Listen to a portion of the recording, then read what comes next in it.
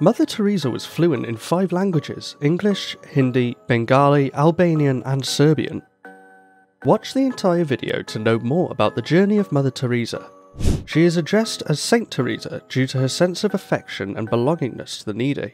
She fought against all kinds of stereotypes and odds to help others. She received a Nobel Prize for her humanitarian deeds and was the greatest humanitarian of the 20th century. She organised programs and initiatives to collect charity for the needy.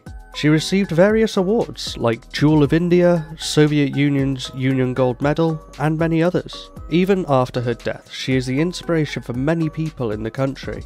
Mother Teresa taught the world that love is the most powerful weapon to win hearts. Mother Teresa's real name was Agnes Gonxha Bojaxhiu, and she was born in Macedonia on August 26, 1910. She was born in a middle class Albanian family, and her father died when she was 8 years old. After her father's death, she used to live with her mother, who was a religious woman. Inspired by her mother, she introduced the concept of charity. At a very young age, she was intrigued by the lives of Bengal missionaries and she decided to devote her life to religion at the age of 12.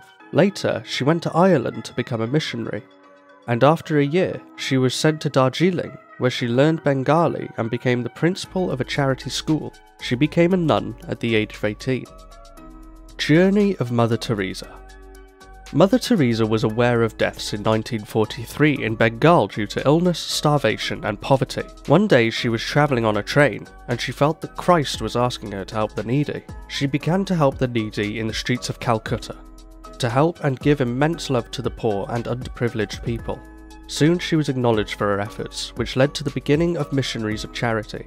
She became popular globally and inaugurated various orphanages, hospitals, and leper houses.